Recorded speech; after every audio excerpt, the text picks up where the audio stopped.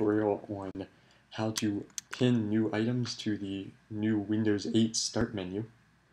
Um, and it's not as intuitive uh, right away, but it actually is pretty easy once you understand how to do it.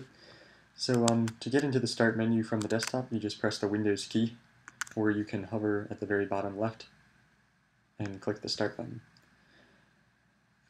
And once you do that, you can edit these tiles um, by right-clicking on whichever of the uh, tiles that you see.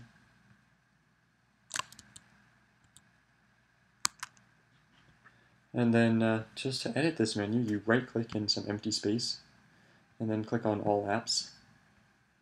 And if I, say, for example, want to add the calculator to the Start menu, then I just right-click, and you'll see the checkbox indicating that it's been pinned to the Start menu.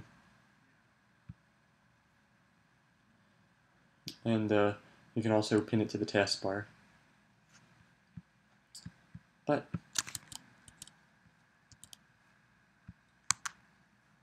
now when we hit the Start menu again, we'll see the calculator pinned to our Start menu.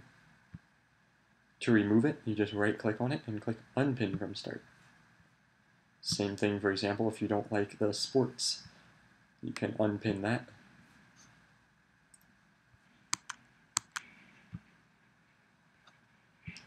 To restore it, just go back to the All Apps setting and right click on Sports and pin it back to Start. And you'll notice that it's restored. You can also change the arrangement by dragging them around.